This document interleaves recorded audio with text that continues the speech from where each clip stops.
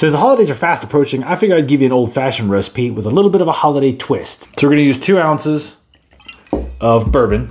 I'm gonna use half an ounce of simple syrup. You can add a little bit more if you like yours a little bit sweeter. And the kicker, secret ingredient is not Fireball. I'm gonna use Kentucky 74 by Spiritless. If you don't know what Kentucky 74 by Spiritless is, it's a non-alcoholic cinnamon whiskey. Now the reason I'm gonna use this is it doesn't have sugar in it like Fireball does. I don't feel like I need a bunch of extra sugar in my old fashions. I just want that cinnamon spice, which is gonna give you that little bit of a Christmas, Thanksgiving, holiday type twist. So I'm gonna go ahead and add about an ounce of the spiritless cinnamon.